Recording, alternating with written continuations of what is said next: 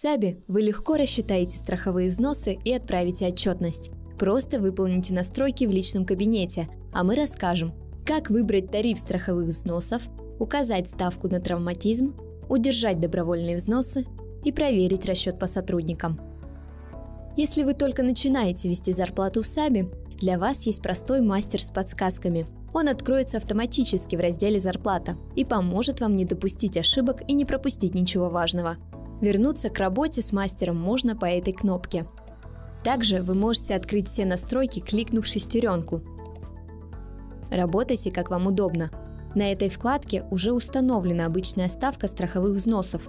Если у вашей компании есть льготы, укажите это. Саби поддерживает все пониженные тарифы. Под каждым из них есть расшифровка, какой компании он подойдет – вам не придется искать дополнительную информацию в кодексах или интернете. Например, ваша компания относится к объектам малого и среднего бизнеса и включена в реестр.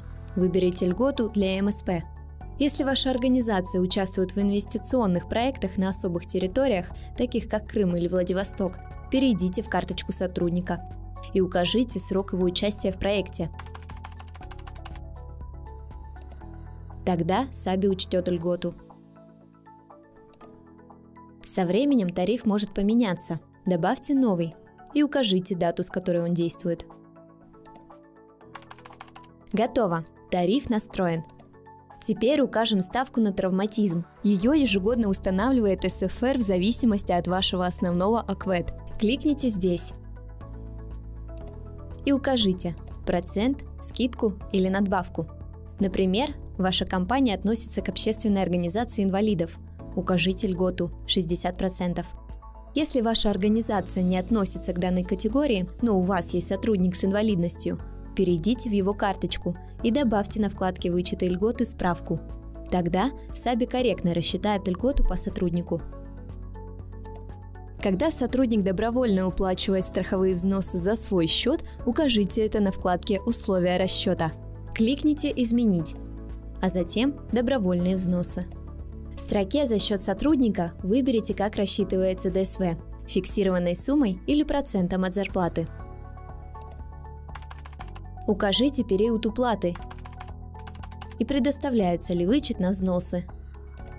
Если организация тоже решила перечислять добровольные взносы за сотрудника, заполните строку «За счет работодателя».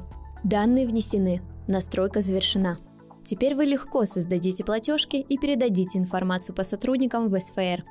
Саби автоматически отобразит внесенные данные в расчетных листках сотрудников. Если вы изменили настройки после того, как зарплата была рассчитана, откройте и пересчитайте ее.